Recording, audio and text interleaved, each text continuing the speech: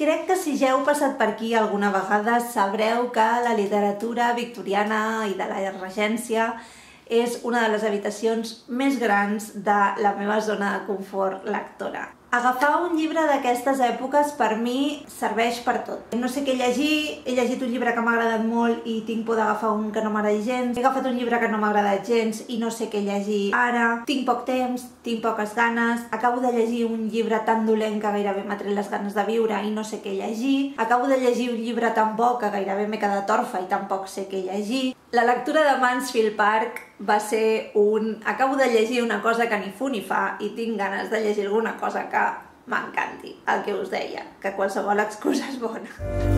Mansfield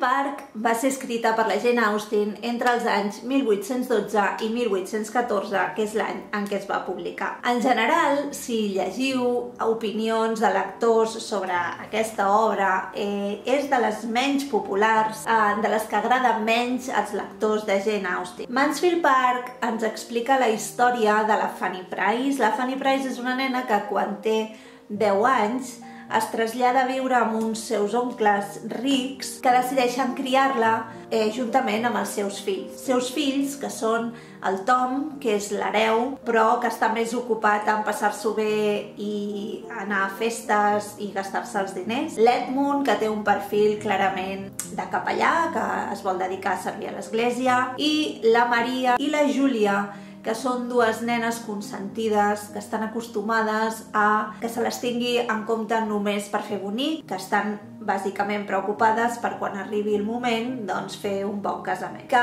els Bertram, que són els tiets de la Fanny, decideixin criar-la juntament amb els seus fills no vol dir que la criïn com una dels seus fills. I com és normal, la Fanny, que en el moment que marxa a casa seva és una cria molt petita, doncs li costa adaptar-se a viure amb aquesta família que constantment li està recordant el benefici i la sort que té de que se'n vulguin fer càrrec. Serà gràcies a un dels seus cosins, l'Edmund, que li fa una mica de cas i que es preocupa una mica per les seves necessitats, que la Fanny a poc a poc s'anirà acostumant a la vida amb els Bertram. Quan ja han passat uns anys des de que la Fanny arriba a casa dels seus tiets, Sir Thomas, que és el seu tiet, ha de marxar, ha d'abandonar a Mansfield Park i se'n va a, unes, a controlar unes plantacions que tenen a l'illa d'Antigua. I aleshores en aquest moment diguéssim que la família perd la supervisió a què normalment Sir Thomas eh, submetia la seva família, que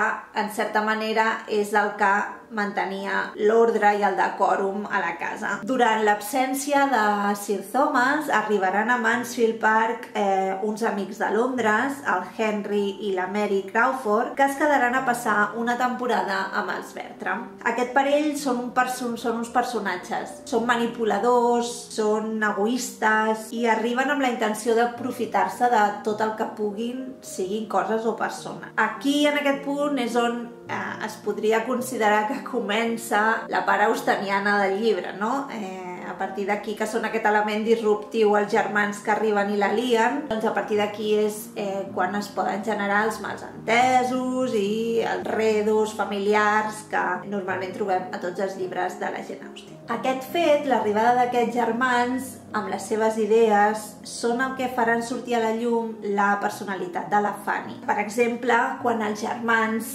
nouvinguts proposen doncs, representar una obra de teatre a Mansfield Park sense públic, només pel gust de preparar-la, la Fanny es nega en rodó perquè ella considera que fer teatre està per sota de la categoria dels Bertram, com té tanta por a equivocar-se i a fer alguna cosa que no toca, doncs eh, ella es nega. Jo crec que d'aquí neix que molta gent consideri que la Fanny Price és un personatge poc agradable o que, o que no té el perfil que poden tenir altres protagonistes d'altres novel·les de la Jane Austen. Però crec que s'ha de tenir present a aquest passat que la Jane Austen t'explica en el llibre, és a dir, està parlant de que aquesta noia, que no ens oblidem que viu al segle XIX, on les convencions socials eren unes molt concretes i el que s'esperava de les dones era un perfil molt concret. Aquesta nena ha viscut tota la vida sentint que ha d'estar agraïda a uns familiars de més poder adquisitiu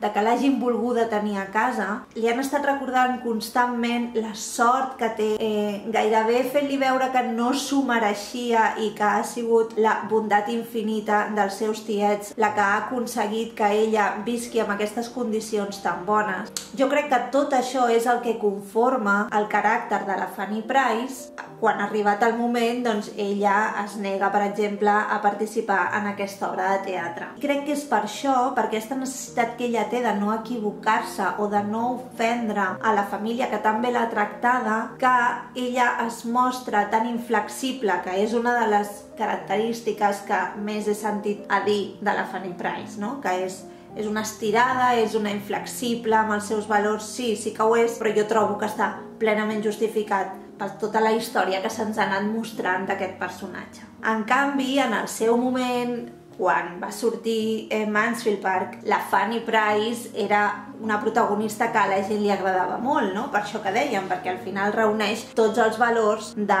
eh, del que la dona perfecta del segle XIX havia de reunir, no? i la Fanny els tenia.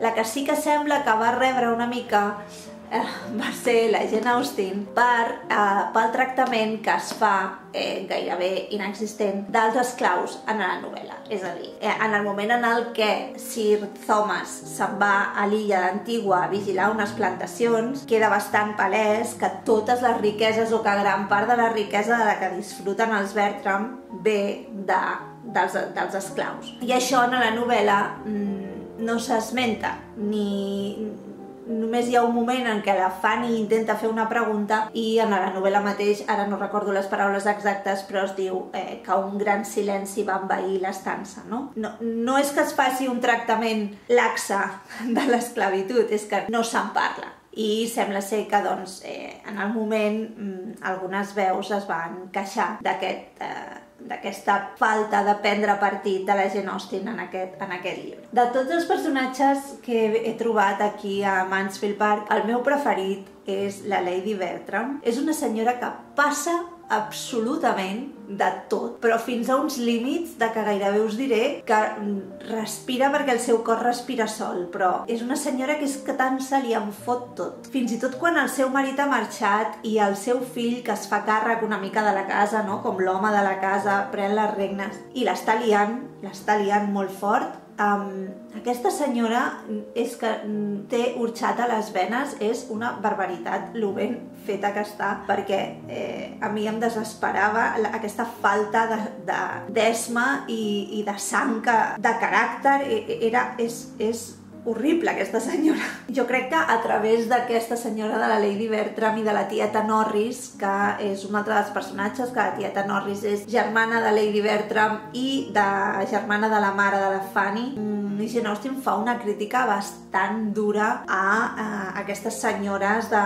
de la societat benestant, no? eh, perquè les deixa bastant malament. A una per aquesta falta d'esma que té i a l'altra perquè és una senyora que eh, està constantment intentant demostrar com de vàlida, com d'intel·ligent, quines bones idees que té, eh, que tothom la necessita i que tothom es fia del seu criteri, no? Crec que són dos extrems diferents, però com aquests dos personatges, eh, Jane Austen les retrata molt bé. A mi m'ha agradat Mansfield Park. No és l'obra que més m'ha agradat de Jane Austen de moment de les que porto llegides, però em va agradar. Em va agradar molt com està construïda la Fanny, amb, aquesta, amb aquest caràcter tan inflexible, tan centrada en els seus valors en les seves opinions, en les seves creences i arriba un moment en el que tot el que passa al voltant de la Fanny ho acabes percebent a través d'aquest filtre que ella posa per entendre la realitat eh, i crec que això fa que al final entenguis el seu comportament, tot i que no el comparteixis, però sí que l'entens eh, perquè veus d'on ve, com s'ha construït aquest, aquest sistema de creences que té la Fanny. Si li he de trobar un però a la novel·la, que per això us dic que no és de les que més m'ha agradat, eh, jo diria al final. Al final no conserva el ritme que té la resta de la novel·la i eh, és una novel·la que és molt pausada, és molt tranquil·la, passen poques coses en general i al final, amb molt poques pàgines, és pam, pam, pam, pam, pam i ja ho tindríem, no? Ostres, mm, Ara ens entren les presses i resulta que portem moltes pàgines de molta calma i tal. No casa, no casa. Tot el ritme de la novel·la amb el final no, no s'avenen. La veritat és que em va saber una mica greu, perquè la novel·la m'estava agradant bastant i al final és una mica com, potser és una sensació meva, eh? però fa desmereixer la resta, no? I, no sé, trobo que està, al final està apuntat, però no està desenvolupat. Fins aquí tot el que us volia explicar de Mansfield Park. Eh, de segur que no serà la novel·la que més m'hagi agradat de Jane Austen, però sí que excepte al final m'ho vaig passar molt bé llegint-la. M'agradaria saber si heu llegit Mansfield Park i si teniu aquesta mateixa sensació que tinc jo de que al final mmm, desquadra una mica amb la resta de la novel·la i eh, què us va semblar la Fanny com a protagonista eh, perquè ja us dic que en general sembla no agradar però que jo la defenso perquè crec que és un personatge molt coherent eh, i que actua d'acord amb el que ha viscut. I crec que al final quan, tots com a lectors quan llegim novel·les el que volem és creure'ns el que està passant no? i jo a la Fanny doncs me la crec. Espero que ens veiem molt aviat. Adeu